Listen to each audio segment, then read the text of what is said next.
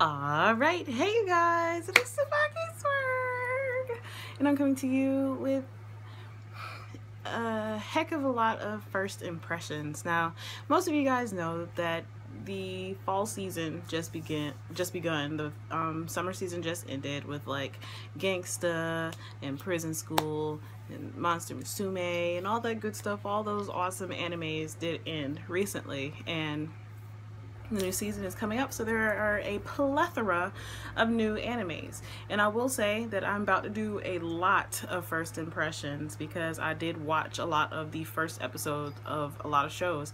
And from the ones that I've seen or the ones that I actually did watch I like all of them.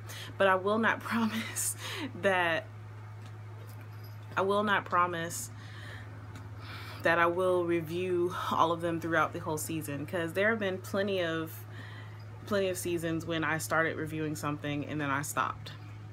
And it's not necessarily because I didn't like it. It might have been because I was reviewing too many at a time. So I'm gonna do a first, like I'm gonna do a first impression of all the ones that I'm about to put out videos for. But I will not promise that I'm going to review all of them once again I would love to hear how you guys feel about these shows or if there are any shows that are on the first episode that you would like me to review. That would be pretty freaking awesome. Just let me know.